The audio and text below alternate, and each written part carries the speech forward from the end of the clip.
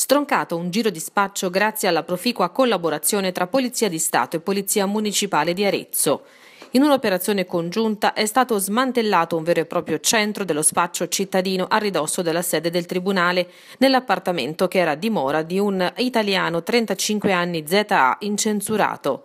Il continuo via vai di persone era attenzionato ormai da giorni. Nella giornata del 28 di giugno, durante uno dei servizi di monitoraggio, gli investigatori hanno fermato una donna che aveva appena lasciato l'appartamento.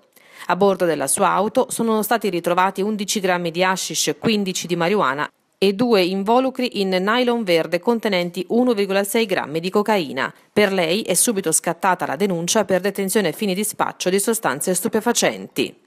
Solo a tarda notte è scaltato il blitz in casa del 35enne. Gli agenti hanno sequestrato oltre 200 grammi di marijuana, 100 in un solo involucro, gli altri in altri involucri già pronti per lo spaccio.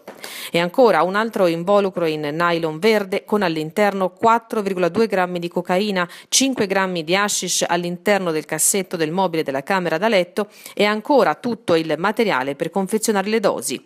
Per l'uomo è scattato l'arresto per spaccio di sostanza stupefacente piacente.